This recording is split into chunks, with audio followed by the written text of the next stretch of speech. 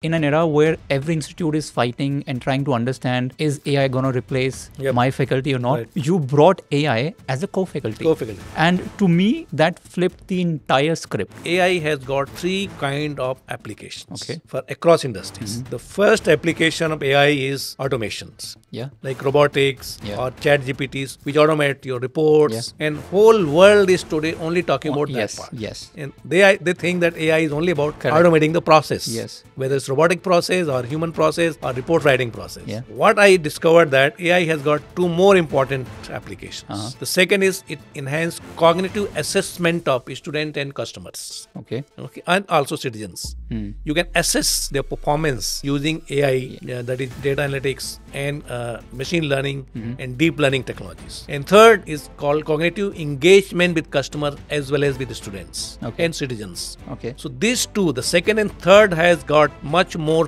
power in creative activities for human talent compared to the first one that is automations. Mm-hmm. Whole world is talking about, whole institutes talking about Automation. ChatGPT, automations, AI. I think that is ridiculous.